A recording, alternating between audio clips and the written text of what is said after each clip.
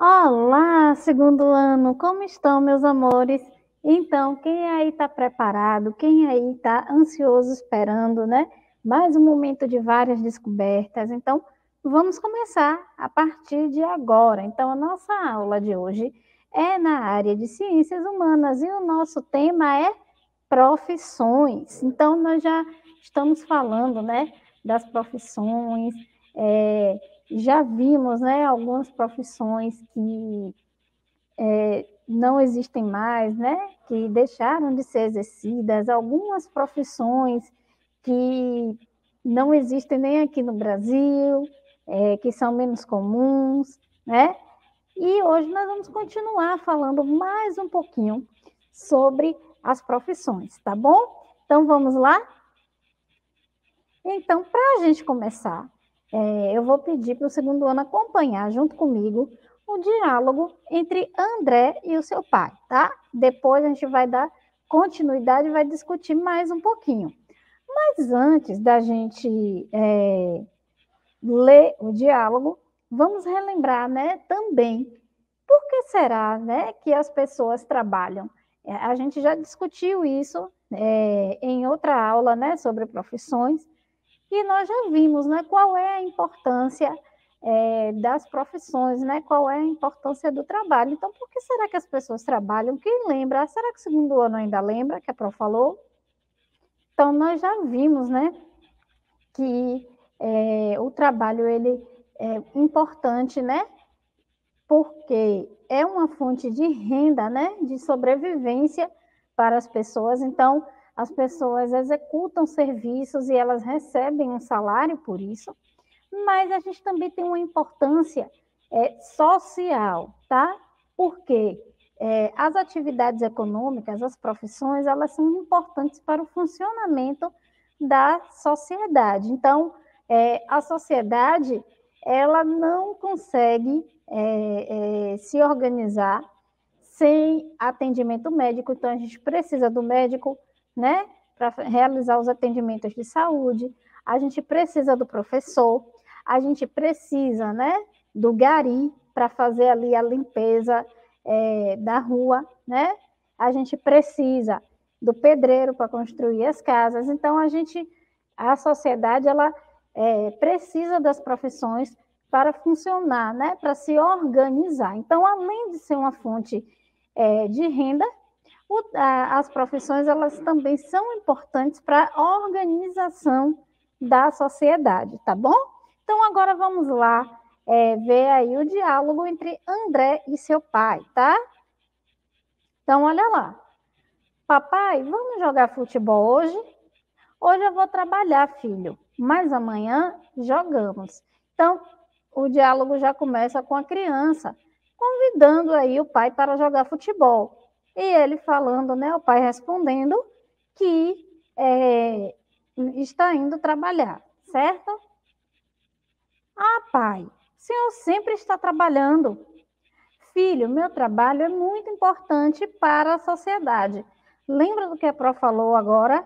É, a questão da importância do trabalho, né, para o bom funcionamento da sociedade qual será a profissão aí do pai de André? O que é que vocês acham? Vamos ver? O que o senhor faz no seu trabalho?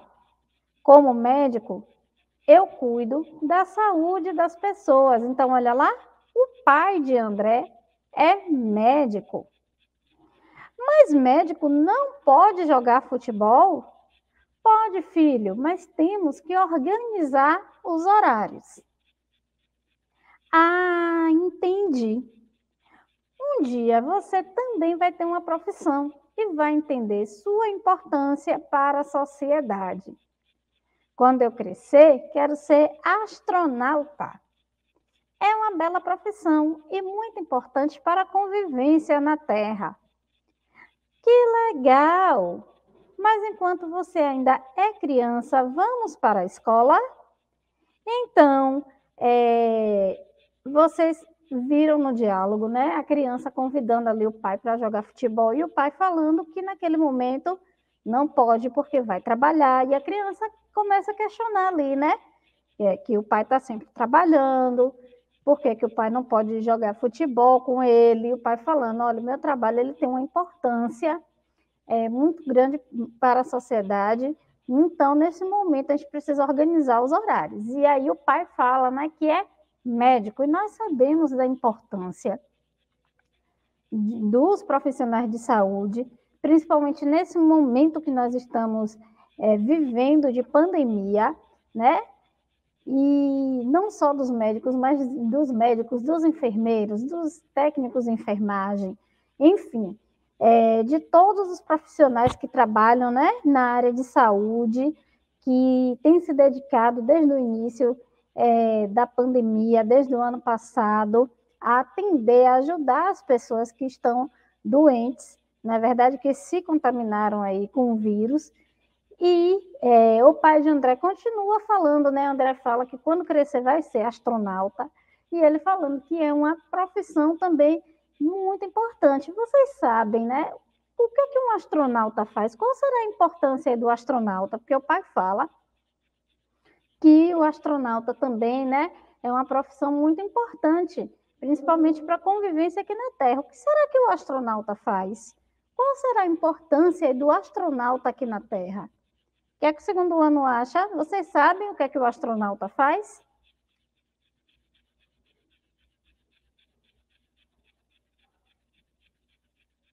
o astronauta ele trabalha né, com pesquisas, né? É, e são pesquisas espaciais. O que é isso, Pro? Ele vai procurar, ele tenta compreender é, a atmosfera, ele tenta compreender o que há além da atmosfera, certo? É, fora do planeta onde nós vivemos, que é o planeta Terra, tá? E o astronauta, é, ele viaja para fora da Terra para fazer pesquisa, então já tem algumas descobertas, né? Como, por exemplo, é, se existe vida né, em, outro, em outros planetas, várias descobertas aí que foram é, feitas for, é, através de pesquisa né, dos astronautas, tá? E aí, a pergunta da coleguinha aí para o segundo ano. E você, coleguinha do segundo ano? Já pensou é, em qual profissão você é, vai escolher quando você crescer? Você já pensou aí, o que, é que eu quero ser quando crescer? Quem aí já escolheu? Fala aqui, comenta aqui, coloca aqui nos comentários, tá? Quem já escolheu, quem já tem ideia aí, é, coloca aqui nos comentários para a gente ver o que é que você escolheu, né? Qual profissão você vai querer seguir quando você crescer, tá? ou você ainda não escolheu, vai deixar para escolher quando tiver maior, tá? Comenta aqui para a Pro, para a gente poder ver o que, é que o segundo ano está pensando. Bom, e outra pergunta aqui, olha lá para o segundo ano, quais são as profissões que fazem, é, das pessoas que fazem parte da sua família? Então, na sua família, né, o que as pessoas trabalham com o quê? Comenta aqui também que é que as pessoas da sua família né, fazem. Por exemplo, na minha família tem várias, né, tem vários tipos de profissões diferentes. Então, na minha família tem jornalista, na minha família tem professor, além de mim, né? É, tem outras pessoas, né? Eu tenho prima que é professora, minha mãe é professora, é, na minha família tem dentista, tem policial, é, enfim, tem várias profissões diferentes aí na minha família, tá? E na sua família? O que é que tem aí na sua família? Comenta para Pro. E agora, vamos conhecer algumas profissões? O que, é que vocês acham da gente conhecer aí algumas profissões e o que é que essas pessoas é, fazem, né? Do, o que é, qual é o trabalho mesmo, de fato, dessas profissões, ou seja, quem exerce essas profissões, o que é que eles fazem? Então, vamos conhecer? Olha lá. Então, primeiro, ó, oi, eu sou o bombeiro. Eu apago incêndio, faço resgate de pessoas em perigo, em desabamentos, acidentes e afogamentos. O meu trabalho é salvar vidas. Então, olha lá. Então, a primeira né, profissão aí que a gente está conhecendo hoje né? Para quem ainda não conhecia, ou às vezes quem já conhecia, mas não sabia de fato é, qual é o papel aí dos bombeiros, é a profissão de bombeiro. Então, bombeiro é, é o profissional que é, é responsável aí por salvar vidas e ele muitas vezes né, ele se coloca na própria situação de perigo para salvar quem já está lá na situação de perigo. Então, ele ajuda a resgatar pessoas aí que são vítimas de acidentes, né? Acidentes de carro, afogamentos, é, desabamentos, incêndio, tá? Ele apaga incêndio, resgata quem ficou preso, muitas vezes é, uma casa que começou a pegar fogo e a pessoa não conseguiu sair, ele entra, tira a pessoa, ajuda ali a apagar o incêndio, tá? Então, o trabalho do bombeiro é salvar vidas, e como a Pro falou, né? É, o bombeiro ele é um dos, né? Nós temos vários heróis aí na nossa sociedade, mas é uma das profissões onde né, tem vários heróis aí, porque eles se colocam aí na situação de perigo, né? Então, a Pro trouxe, olha lá, mais algumas imagens aí dos bombeiros é, trabalhando aqui, né? É, apagando incêndio, tá? Olha lá, salvando, né? Ali na situação onde ele precisa mergulhar, tá? Olha lá, e aqui, inclusive, é o trabalho dos bombeiros, ó, lá em Brumadinho, tá? E a Pro já falou aqui, inclusive, sobre a tragédia, né, de Brumadinho, a tragédia de Mariana, quando na aula de extrativismo, a Pro falou sobre essas tragédias, né, que infelizmente várias pessoas aí morreram, e é, quem ajudou aí a salvar, inclusive, pessoas que conseguiram sobreviver foram justamente, olha lá, os bombeiros que foram fazer aí o resgate das vítimas, tá? Então, merece todo o nosso respeito. E olha lá, mais uma profissão, ó, super importante aí para a sociedade, ó. Olá, amiguinhos, eu sou o policial. E o meu trabalho é cuidar dos cidadãos, evitando que eles fiquem em situação de perigo. Então, o policial, tá? Que também é super importante para a sociedade. Ele também muitas vezes se coloca em situação de perigo, assim como os bombeiros, né? Para ajudar ali os, as pessoas, para salvar as pessoas. As pessoas é o policial. Então, eles, é, o policial, eles têm esse papel, né? de é, é, tentar ao máximo ali evitar que a sociedade é, é, não, não esteja em ordem. Então, o papel do policial é justamente manter a ordem né, na sociedade para evitar ali situações de perigo, tá bom?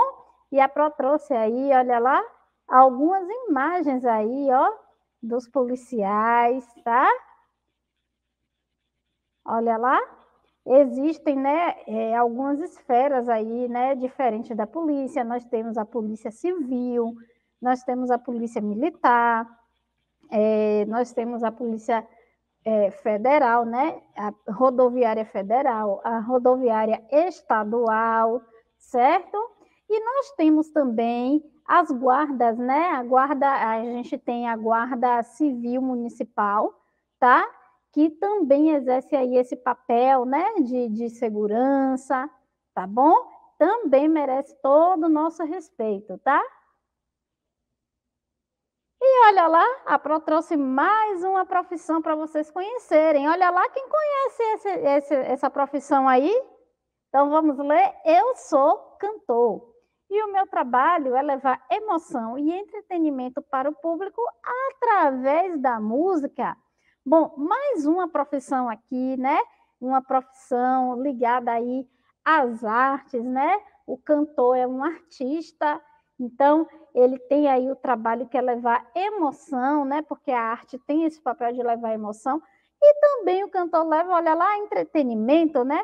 Para o público através da música. Então, a Pro trouxe também, olha lá, quem conhece esse cantor aí? É bem famoso, né? Como é mesmo o nome dele?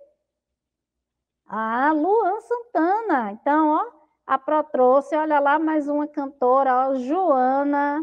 E essa cantora aqui, quem conhece?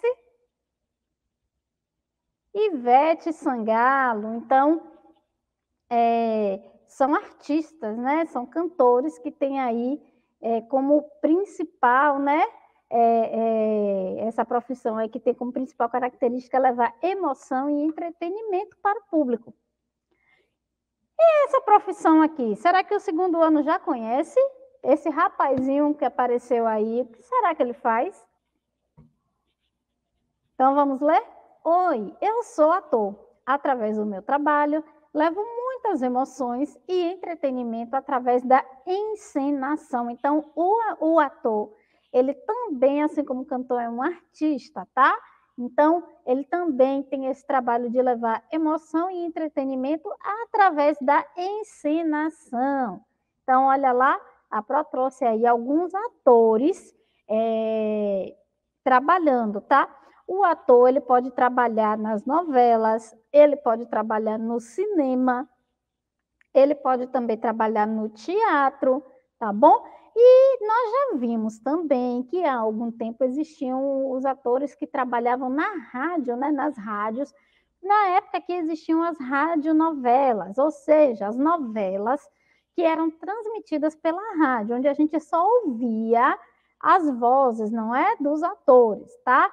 Só que depois, com a chegada da TV, onde a gente, consegui, a gente consegue, né, porque a TV é um recurso audiovisual, ou seja, eu tanto escuto, como eu também vejo.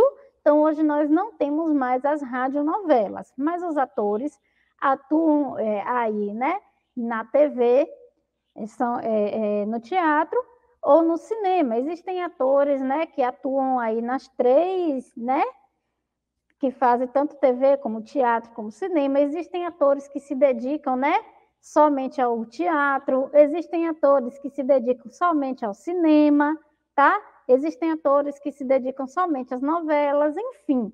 Mas, é, como nos três né, locais está aí, é, é, temos aí a questão da encenação, da atuação, é local de trabalho dos atores. Olha lá, no teatro, tá? Os atores encenam no teatro, tá bom? Olha lá, mais um é, mais um profissional que é super importante aí, tá? Eu sou o coletor de resíduos sólidos, também conhecido, olha lá, como gari, certo? Eu trabalho muito para deixar tudo limpinho. Através do meu trabalho, várias doenças podem ser evitadas. Lembra que a Pro falou é, nas aulas anteriores que muitas vezes o resíduo é, jogado no chão ou descartado aí em local inapropriado, tá? Ele pode trazer aí várias doenças, porque pode trazer aí animais que transmitem doenças, né? Como rato, barata. Então, o gari, ele tem aí um papel importantíssimo, porque tanto que trabalha ali limpando a rua, como que trabalha é, coletando, né? Os resíduos que nós é, colocamos ali na porta de casa, tá? Porque é ele que vai coletar ali aquele resíduo e levar para ser descartado é, no local apropriado. Então, ele tem um papel importantíssimo, ó, merece também todo o nosso respeito, tá? Porque é, através desse trabalho, várias doenças também são evitadas, tá bom? Então, eles são importantíssimos. Olha lá, e a Pro trouxe, ó, algumas imagens deles trabalhando. Então, olha lá quantos resíduos na rua. Imagina esse resíduo todo acumulado aí, juntando ali, ó, rato, barata. E aí as pessoas passam por ali, né? Ou pode provocar até alagamento, se entupir ali, né? As bocas de lobos, e se chover muito forte. Então, ele pode provocar até um alagamento. Então, é um trabalho importantíssimo. Olha lá, também ele recolhendo aqueles resíduos, né, que nós colocamos na porta de casa, a gente pega ali, né, amarra no saco, coloca na porta de casa. Então, olha lá, é um trabalho muito importante, tá? E aí, segundo ano, todos bem aí? Eu sou mecânico de automóveis e meu trabalho é realizar reparos em veículos. Quem já conhecia o mecânico de automóveis? Então, o trabalho do mecânico é justamente realizar reparos em veículos, tá?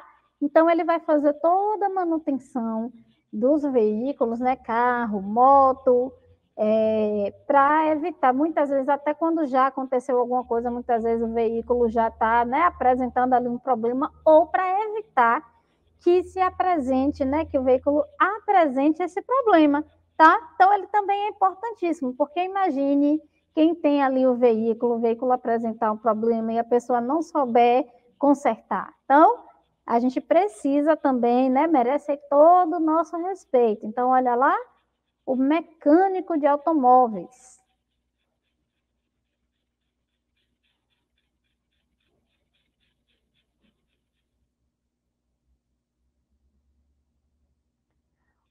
Oi, eu sou jornalista e sempre levo as informações para as pessoas. Então, mais um profissional. E nesse tempo, né, que nós estamos vivendo de pandemia, os jornalistas também, né, como várias outras profissões, e os jornalistas também fizeram aí um trabalho muito importante de trazer aí todas as informações, né, é, é, de, e também até mesmo de conscientização, eles ajudaram muito aí os órgãos né, competentes nesse processo de conscientização do uso da máscara, né, da, da vacinação, das formas de prevenção aí contra o coronavírus. Então, além de levar informações, eles têm, tiveram um papel, eles têm um papel importantíssimo e durante a pandemia tiveram esse papel aí de ajudar também no processo de conscientização. Nós já vimos um pouquinho, falamos um pouquinho sobre jornalistas, lá nas nossas aulas, né, sobre texto é, é, jornalístico, sobre jornal, né, nós já falamos um pouquinho aí da profissão de jornalista. Então, olha lá, os jornalistas, né, trabalhando. Então,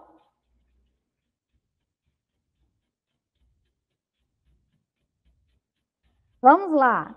Eu sou veterinário e cuido da saúde dos animais. Quem tem um animalzinho aí na sua casa, levanta a mão aí para prover. Ah, na minha casa tem um gatinho que é o xodó da família toda. É o Dengo, Apolo. E quem é que vai cuidar da saúde dos animais, né? É o médico veterinário, tá? Que é o médico aí que é especialista em cuidar, né, dos animais, tá? Então, importantíssimo também, porque imagine, ninguém quer ver ali, né, o seu animalzinho doente. Então, olha lá.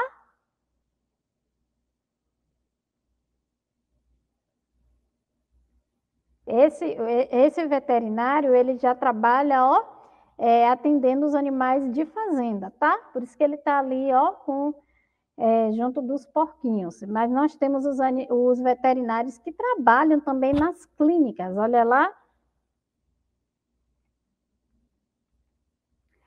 Oi, crianças! Eu sou o vendedor ambulante e trabalho vendendo vários produtos. Então, mais um profissional, ó, é o vendedor ambulante, tá? Que é o vendedor que trabalha, né? Vendendo vários produtos. Muitas vezes eles trabalham em locais diferentes, né? Eles levam todo, todo é, é, todo material que eles precisam levar para trabalhar, muitas vezes precisam montar ali é, barracas, certo?